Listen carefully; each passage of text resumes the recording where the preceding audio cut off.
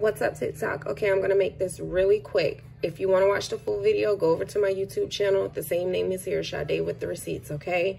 Um, this is a Family Dollar deal. If you wanna pause it, take a screenshot, these are the items that you need to get. And I'm gonna insert a picture, um, well, pictures right here of the $2 off degree coupon, the $4 off two microban, and I think the five off three Colgate.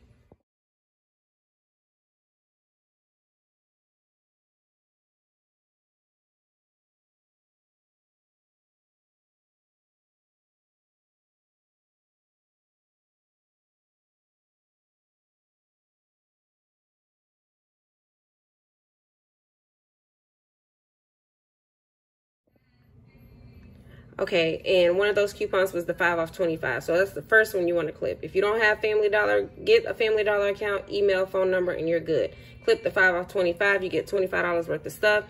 Uh, $5 is going to come off. Then the 5 off 3 for these. These are $2 a piece, so that's $6.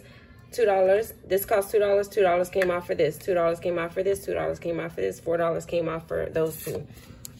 Here's my receipt. Pause it if you want to see anything in particular. Wherever you see the two or amount in a dash, that's the coupon that came off Manufacturer Smart Coupon. And at the bottom, it will have Smart Coupon. That is the $5 that um, you get off for getting $25 worth of stuff. And my subtotal is $5.90 for $25.90 worth of products, okay? This is $6.95 by itself. And these are normally $3.50. These are supposed to be on sale two for six, but they did not ring up two for six for, for me. And she just manually changed it. If you don't, you'll just pay a dollar more because they're originally $3.60 seven. So seven dollars, then you'll get four dollars off. That's three dollars, so that's like a dollar fifty a piece. Okay, so it'll still be a good deal. You know what I mean? But if they will, it's supposed to be in the ad two for six. And this is my other receipt. This one is a dollar more because I bought a candy bar.